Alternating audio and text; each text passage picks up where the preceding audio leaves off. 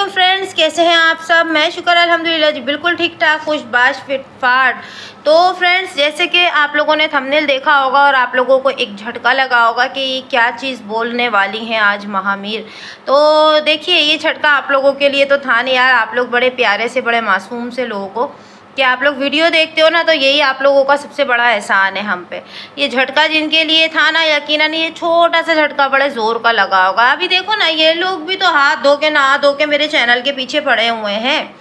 है ना? मैं तो किसी की बात नहीं करूँगी कि किसके चैनल पे पढ़े, क्या पढ़े। हाँ बस इतना ज़रूर बोलूँगी कि भाई नोटिस वोटिस अभी तक मेरे पास नहीं आया है और मेरे को ये भेज भी नहीं सकते हैं, क्योंकि मतलब डिफरेंस है ना हम लोगों का, वो वहाँ और मैं यहाँ। तो वो चीज़ को लेके वो नोटिस तो नहीं भेज सकते हैं। बट हाँ ये लोग मेरा डायरेक्टली जो है ना वो चैनल ही डिलीट करवाएँगे जब भी करवाएँगे तो आपका आ, मेरा चैनल ही आ, ये लोग डिलीट करवाने के चक्कर में या जो भी है ना वो इसी चक्कर में लगे मैं क्योंकि मैडम जी ने खुद अपनी लाइफ में बोला था कि आ, हमारे बिना बाहर मुल्क में भी रिश्तेदार हैं। हाँ हमें पता है ना वो तो आए तो थे ना वो गिफ्ट आया था बाहर मुल्क से जो सब्सक्राइबर ने गिफ्ट भेजा था फिर आपने उन्हें अपनी खाला बना लिया था अपनी फैमिली बना लिया था है ना? फैमिली बना लिया था कि वो लोग हमारे अब फैमिली बन गए। तो हाँ जी, पता है हमें कि वो आपके सब्सक्राइबर वाले लोग जो है ना, वो बहुत सारे लंदन दुबई अमेरिका पेरिस में सब जगह बैठे हुए हैं। तो आप उनके थ्रू जो है, वो मेरा चैनल जो है, वो यकीन डिलीट करवाने के चक्कर में हो। तो खैर, कोई ना, अगर मेरा चैनल डिलीट भी हो जाएगा तो शुक्र अल्हम्दुलिल्लाह, कम से कम अपने आप में मुतमिन तो होंगी कि मैंने जो आवाज़ उठाई अपने व्यूवर्स अपने सब्सक्राइबर के लिए, भले मेरे थोड़े से सब्सक्राइबर हैं, मैं खुश हूँ उसमें अल्हम्दुलिल्लाह के थोड़े सब्सक्राइबर हैं, पर सारे के सारे शुक्र, अल्हम्दुलिल्लाह, सभी बहुत अच्छे हैं। ठीक है तो और उन लोगों की आवाज़, मैंने उन लोगों की जो एक आप लोगों की तरफ़ से उन लोगों को जो तकलीफ़ मिल रही थी, जो उन लोगों को एक अजियत मिल रही थी ना तो वो तकलीफ़ के ऊपर मैंने उनकी आवाज़ उठाई और उसके ऊपर मेरा चैनल ख़त्म हुआ है। तो मुझे ऐसा कोई ख़ास जो है वो दुख होगा नहीं। चैनल का तो दुख होगा यार तीन साल होगा इस चैनल के ऊपर। मेरी फैमिली की मतलब बहुत सारी यादें इस चैनल के साथ जुड़ी हुई हैं। वो चीज़ का दुख होगा पर फिर भी दुख नहीं होगा। यही बोलूँगी मैं बस था कि फिर भी दुख नहीं होगा कि सच को लेकर ही चैनल को ख़त्म हुआ आ, सच की आवाज़ के साथ ही मेरा चैनल ख़त्म हुआ है। क्यों? क्योंकि मैंने आ, इनकी बहन के बारे में पूछ के गुनाह किया क्या? मैंने क्या पूछा? पब्लिक ने पूछा और मैंने आके सिर्फ़ यहाँ बैठ कर पूछा है ना? इनके अब्बा के बारे में पूछा। कभी कुछ बोलते सारी गड़बड़ी इनकी अपनी की हुई होती है सच में। सारी की सारी गड़बड़ी इनकी अपनी कुछ होती है। अम्मी कुछ बोलती हैं भाई कुछ बोलता है बहन कुछ बोलती है। तो भाई पहले तो डिसाइड कर लिया करो कि हम सबको जो है ना अब्बा के बारे में आखिरकार आज बोलना क्या है? ठीक है तो वही वाली एक ही बात जो है वो रट्टा लगा के रखते और वही सबकी ज़बानों पर रहता तो वो ज़्यादा अच्छा रहता तो लोग आपको झूठा नहीं समझते। पर क्या है ना, आपने आके बोला कि हमने तो अब्बा के बारे में कुछ बोला ही नहीं, वहाँ पे आपकी अम्मी उछल उछल के चिल्ला चिल्ला के बोल रही थी। फिर बहन के बारे में कुछ नहीं बोला, बहन खुद बोलती है कि मैं अकेली जा रही हूँ, पर दूसरे के ब्लॉग में वो हमें वो टेडी बियर के साथ दिख जा रही है। तो मतलब ये वाली गड़बड़ियाँ जो है ना, वो जितनी भी हैं, वो सारी की सारी आप लोगों ने खुद नहीं करी हैं। ठीक है?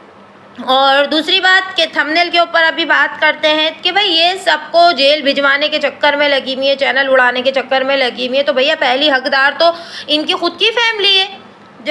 सलाखों के पीछे जाने के लिए इनकी खुद की फैमिली है भाई। क्योंकि जितनी धोखा करनी जितनी दोगलेबाजी, जितनी वो दो क्या बोलते हैं, दोहरी बातें जो है, जितनी इन लोगों ने की है ना, उतनी शायद हम लोगों ने भी नहीं की है।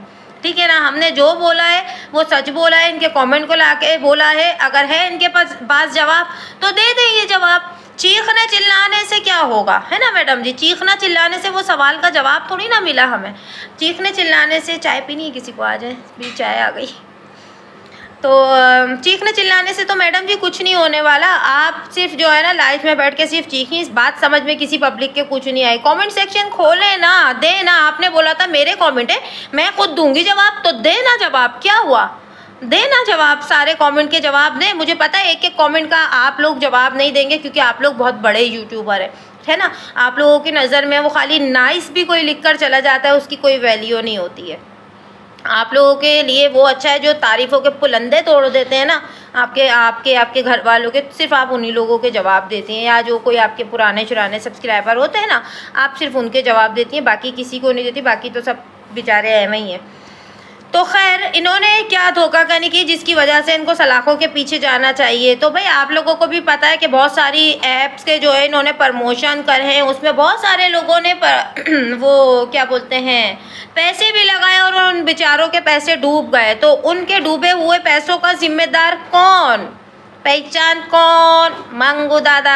हाँ जी, मंगू दादा हैं उनके ज़िम्मेदार या इनकी बहन? है इन्होंने भी बहुत सारी प्रमोशनें करी हैं ना। कभी आज ये हेयर ऑयल से लगाए तो मेरे बाल इतने अच्छे हो गए, वो हेयर ऑयल से लगाए तो मेरे बाल इतने अच्छे हो गए, मैंने ये क्रीम यूज़ करी तो मेरा मुँह इतना चमकने लग गया, दूसरी क्रीम यूज़ करी तो इतना चमकने लग गया। तो भैया, चमका किससे है? पहली वाली से चमका था आपका चेहरा या कि दूसरे वाले से चमका था। आपके बाल जो है, वो पहले वाले हेयर टॉनिक से अच्छे हुए थे या दूसरी बार जो मास्क लगाया था, उससे अच्छे हुए थे?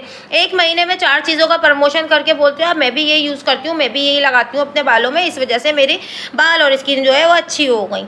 है ना? पर ऐसा कुछ है नहीं।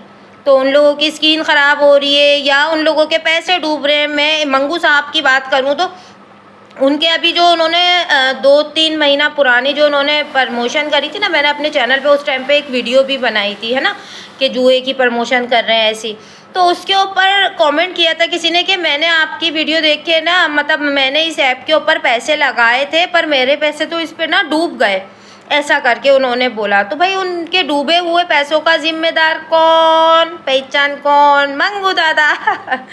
हाँ जी, मंगू दादा जिम्मेदार हुए ना, क्योंकि प्रमोशन तो उन्होंने करी है। अभी जो लोग इनको चार पाँच सालों से इनकी पूरे ख़ानदान के ब्लॉग देख रहे हैं तो ज़ाहिर सी बात है, एक ट्रस्ट बन जाता है। ठीक है, अब उनके लोगों ने इनकी बातों पर ट्रस्ट करके वहाँ पर पैसे लगाए और उनके पैसे डूब गए। तो वो तो ज़िम्मेदार यही बनेंगे ना इन्हें चाहिए ना वो ऐप वाले जो हैं उनसे जाके पूछें उनसे कि भाई आपने क्या वो करी थी? हमारे व्यूवर्स तो बोल रहे हैं कि उनका नुकसान हो गया। पर ऐसा कुछ नहीं किया मुँह छुपा के सबके सब बैठे हुए हैं। अभी जो भी रीज़न है मुँह छुपाने का ऐसे काम मत कर दे करो कि जिससे मुँह छुपाना पड़े। सबसे बड़ी बात तो ये है कि मुँह छुपाने वाले काम बंदे को कभी नहीं करने चाहिए कि जिससे ना आ, मेरा बेटा आके लेट गया यहाँ पे। तो तो ना मुँह छुपाना पड़े आप लोगों को। तो इन्होंने किए ऐसे काम जो आज तक देखिए आप, ये लोग मुँह छुपा के, एक सेकेंड पर किसी को इन्होंने जवाब नहीं, पर किसी को इन्होंने जवाब नहीं दिया और ना अपना मुँह छुपाकर बैठ गए। तो भाई जवाब तो देना पड़ेगा। अगर आप अगर रेडी है ना मतलब शायद आप लोगों को आदत होगी ये कोर्ट कचहरी की जेल की। वैसे हमारे यहाँ तो यही बोलते हैं भाई हमने बड़ों के मुँह से ही मैंने क्या मतलब हर इज़्ज़तदार घर में जो है ना यही बातें होती हैं कि कोई भी शरीफ औरत या शरीफ ख़ानदान के लोग जो है ना वो कोर्ट कचहरी और जेल जे, जेल थाना इनसे जो है ना वो दूर ही रहते हैं। और अल्लाह पाक किसी दुश्मन को भी ना ऐसी गंदी जगह पे ना भेजे। कोर्ट हो गया या जेल हो गई या थाना हो गया, ऐसी जगहों पे ना भेजो। और फैमिली वाले लोग कभी जाते नहीं है, पर आप जिस तरह बात कर रही थी तो ऐसे लग रहा था कि आपका तो सुबह शाम का शायद वहाँ पे आना जाना है। है ना? तो फिर केस होगा तो मैडम जी केस तो फिर बहुत सारी चीज़ों पे और बहुत सारी बातों पे होगा। तो भाई सब्सक्राइबर भी बहुत सारे तैयार ऐसे बैठे हुए हैं कि जिनको, बल्कि आपको एक बात बताऊँ, कल वाली वीडियो में डेजल बहन है जो आप लोगों को मेरी हर वीडियो पर तकरीबन मेरी बहन का आपको कॉमेंट मिलेगा। और बहुत सारे लोग ऐसे भी आ जाते हैं जो मुझे ना थोड़ा सा बुरा भला भी बोल जाते हैं। तो वहाँ पर भी मुझे बोलने की ज़रूरत नहीं पड़ती। डेजल बहन जो है बहुत तमीज़ और तहजीब के दायरे में उनको बड़ा अच्छा सा रिप्लाई कर देती हैं। हैं तो शुक्रिया सबसे पहले डेजल बहन आपका कि आप हमेशा जो भी बैड कमेंट्स आते हैं ना, उनको बड़ा अच्छा सा रिप्लाई करती हूँ। और सबसे बड़ी बात तो ये है कि तमीज़ और तहज़ीब के दायरे में आप सबको जवाब देती हैं। मुझे ये अंदाज़ आपका सबसे ज़्यादा अच्छा लगता है। और मेरी बहुत सारी, शेख बहन है शेख सात सौ साठ नंबर है उनका सेवन सिक्सटी ठीक है? वो भी सबको बड़े अच्छे से तमीज़ तहज़ीब के दायरे में और नीलोफर में बहुत सारी बहनें हैं, मेरी जो अच्छे से जवाब देती हैं, सबको धो के आ जाती हैं अच्छे वाले अंदाज में, तमीज़ तहज़ीब के दायरे में, ठीक है? तो उन्होंने भी मुझे बताया कि बड़ी मैडम की ना इंस्टा पर, कल ही मेरी वीडियो में भी कमेंट है डेजल बहन का तो आप लोग भी देख सकते हैं। और डेजल बहन, ये भाई मेरी कोई यहाँ की नहीं है, आप लोग समझेंगे, कोई अपने पास की इसने दोस्त बिठाई हुई है, अपनी बहन बिठाई हुई है। नहीं, ये माशाल्लाह इंडिया की हैं ठीक है ना? इंडिया की ही मेरी ये बहन है।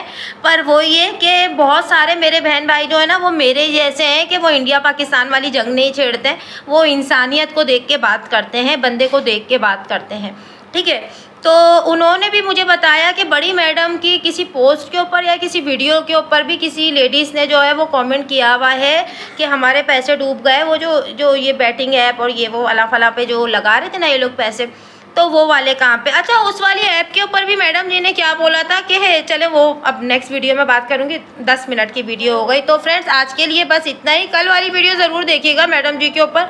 एक ख़ास बात याद आई है मेरे को ठीक है तो इनशाला वो कल बात करते हैं। मिलते हैं नेक्स्ट वीडियो में। दुआ में याद रखें, अपना बहुत सारा ख्याल रखें। अल्लाह हाफिज़।